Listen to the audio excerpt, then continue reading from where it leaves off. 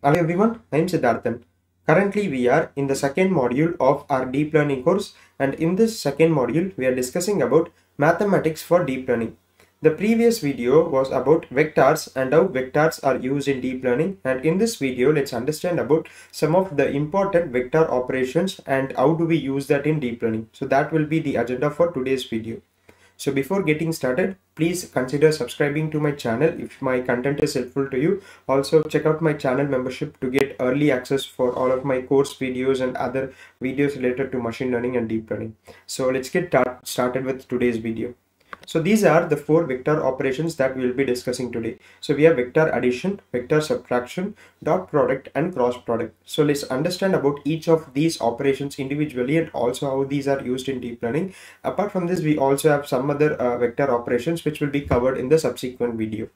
So first let's discuss about this vector addition. So we know that a vector is a mathematical entity that has both magnitude and direction and in the concept of or in the domain of deep learning we use this vector specifically for data representation, manipulation, calculations and so on, right? So involved with uh, how you represent the input data, weights, bias and so on. So in those contexts the uh, operations such as vector addition and vector subtraction are like really important so let's say that we have two coordinate axes so x1 and x2 you can think about uh, these also as like let's say two features in your input data. So let's say that you have uh, you know age and the gender of a person and you want to train a diabetes prediction model. So something like that. So that would represent the features and here we have the features of x1 and x2 and now let's say we have this first vector of 2 comma 3 and the second vector of 3 comma minus 2 so these are the coordinates of these two vectors. So we, represent this vector with arrows so which we already know. So this let's say the coordinate for this particular uh, vector is 2 3 and for this one is 3 comma minus 2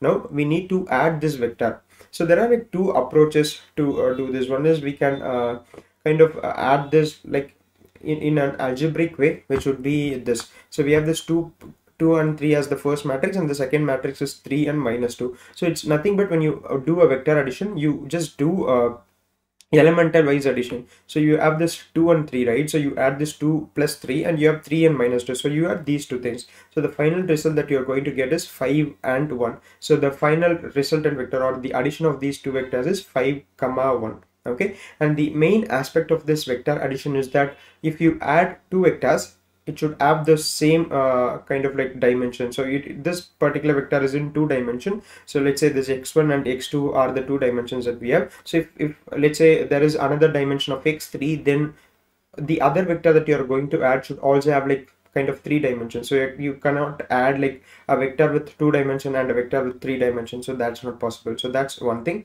And the other important aspect of this vector addition is when you add add two vectors the resultant is always going to be a vector as well. So that's something you can remember. So this is how you can uh, uh, do vector addition which is basically like uh, you know elemental wise addition. You can also do this in this graph. So what you would do is let's say that we have these two vectors you just draw a dotted line from this vector and a dotted line from this vector. So find this point of intersection. And if you find this coordinate right so that's going to be 5 comma 1 so the same uh, you know result that we are getting. But in in terms of deep learning right so this is like uh, more you know convenient. Because like we can't uh, keep drawing these vectors in an higher dimensional space and calculate this so we can just follow this. Where let's say you have uh, uh, input data where there are 10 dimensions so you can add like another uh, you know vector with 10 dimensions and get a result. So this is about vector addition.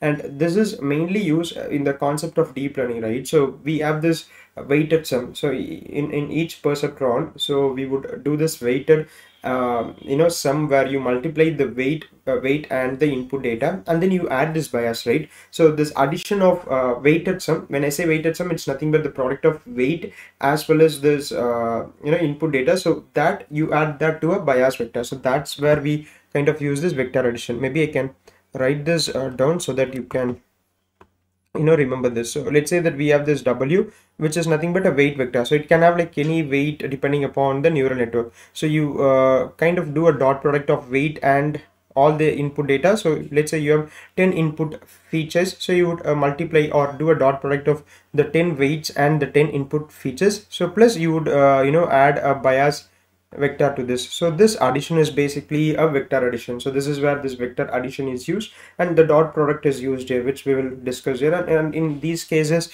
uh, you know vector addition is helpful. And also in the case of gradient calculation so we kind of add this gradients in order to get this overall uh, gradient thing so that we can optimize our model. So this vector addition is used internally in those process of calculating these gradients as well. So this is about uh, vector addition now let's understand about vector subtraction. So this is also similar to the vector addition where you can just do elemental uh, you know subtraction. So let's say that we have again two vectors of 2 comma 3 and 3 comma minus 2 and you just uh, kind of subtract it. So you have 2 3 and 3 and minus 2 so you have to subtract it. So 2 minus 3 and 3 minus of minus 2 so we have minus 2 here right? So we have 3 minus of minus 2 so this would become a plus. So the result is minus 1 and 5 so this is how you can do a subtraction just like elemental uh, subtraction. Again same concepts apply here. So you can only uh, subtract vectors of same dimensions and the resultant is always going to be a vector 2 so how you can do this is we are subtracting the second vector from the first vector right? So we have to invert this vector in this graph. So when you invert it this is what you would get. So that uh, basically is nothing but you know minus 3 comma plus 2 so when you invert this so it will be in this particular axis right? So the x-axis is in the negative thing. So you have minus 3 and y-axis in the positive uh, area. So plus 2 so you are just inverting this. And now you just draw a dotted line similar to the previous case that we have seen. So when you do this dotted line and, and you kind of draw a vector here. So you would get minus 1 comma 5 right? So this is how you can calculate this uh, vector subtraction in the graph okay? Again these are used in this weighted something and and other you know calculus calculations also this vector subtraction will be used. So i hope everyone is clear until this point. Now let's move on to the important operation of dot product. So let's say that we have this again x1 and x2 uh, coordinates or the dimensions uh, and then we have this vector of 2 comma 3 and 4 comma 4 so now we have to find the dot product for this. So what we do in dot product is and other uh, main thing here is when you do a dot product of two vector you're going to get a scalar. So this is like very important. So please remember this one. So a dot product of two vectors is going to be a scalar. So we have 2 comma 3 4 comma 4 so this is represented by this dot the dot product thing. So again you have to multiply this element wise. So this first 2 will be multiplied with this 4 and this second uh, this this 3 will be multiplied with this 4 and these two things will be added so if i just uh, you know try to draw this thing so this 2 and 4 will be uh, multiplied and this 3 and 4 will be multiplied and these two things will be added.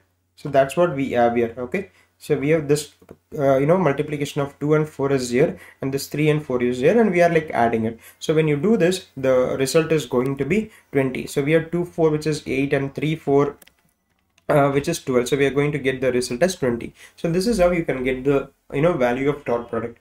There is another way to calculate this dot product. So again this method so this is what we call as a algebraic method and there is another method of geometric method. So there what we would do is so here we would have an angle for this angle between these two things right? So there would be an angle it's called this as theta. Now uh, you have this formula of uh, the dot product of let's say this is an a vector and this is the b vector. So the dot product is magnitude of a into magnitude of b into cosine of theta. So that's what we call as uh, you know the uh, you know the geometrical aspect of finding the dot product again that would also the value will be closer to 20 but in in deep learning we won't prefer using that because again it's hard or, or i would say it's like an overhead to kind of find all these uh, you know angles and the magnitudes and all the dimensions and calculate this. So instead when you have like let's say 100 features you can just do a dot product of this thing and, and get this. So again as i said this is used in the case of uh, you know weighted sum where we do a dot product of weight and the input feature so that is where this concept of dot product is used. Okay? And then we finally come to this cross product. So we let's say we have this two coordinate axes of x1 and x2 and we have vectors 2 comma 3 and 4 comma 4 and now we have to do a cross product.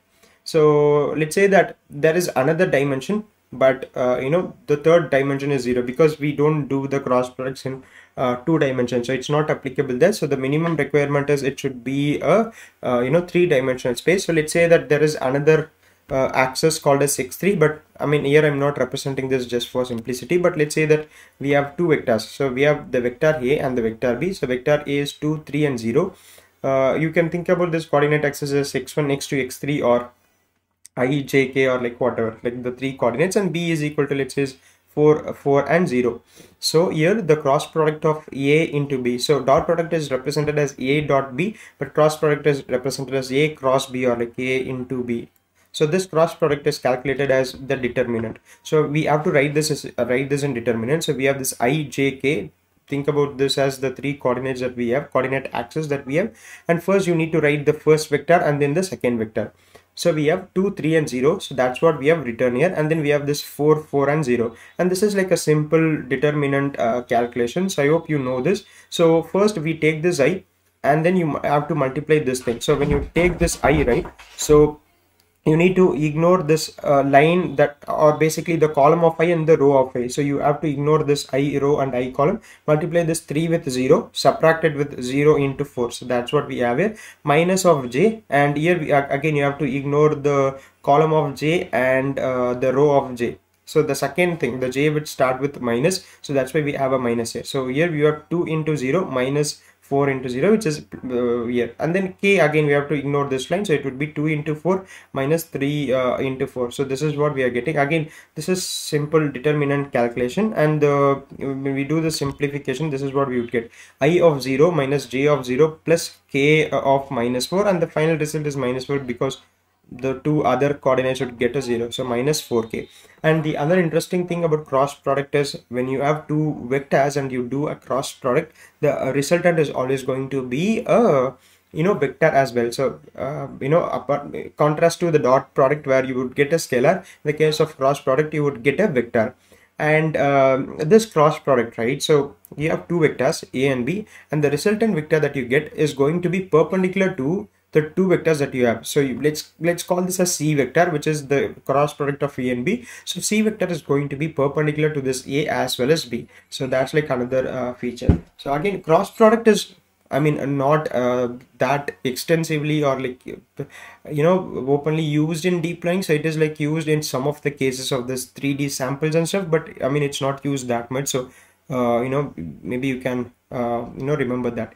But you know vector addition and this dot product are like used a lot. So i hope everyone is clear until this point where uh, dot the vector addition and vector subtraction are nothing but the elemental uh, you know addition of element wise addition of the two vectors and you would get a resultant vector uh, which is used in this addition of this bias vector with the weighted uh, sum. And then you have this vector subtraction where we would just invert one vector and just you know do this elemental wise uh, calculation thing. And then you have this dot product where the main thing about this is the dot product the result of a dot product of two vectors is going to be a scalar.